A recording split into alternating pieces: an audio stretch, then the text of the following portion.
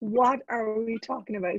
My name is Rachael O'Brien and I'm with my friend Sue Will Jones. Sul Jones. Hi, everyone.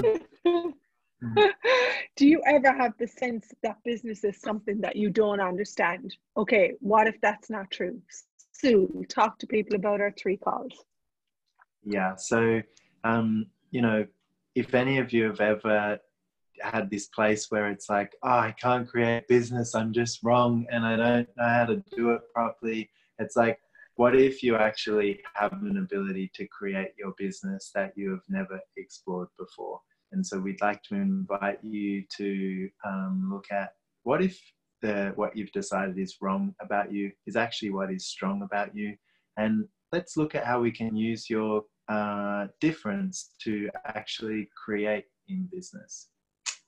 And then we would also love to explore building and growing your reality in business. And if you could have your reality in business, what would it be?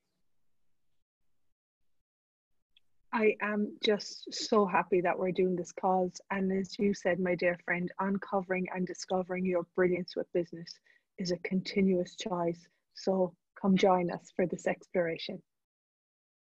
Thanks, everyone. See you on the 19th of May when we begin. Oh no. 19th of July. 4th, 11th, and 18th of July. we did it! We did it! Yeah. Yay! Come. Come and play.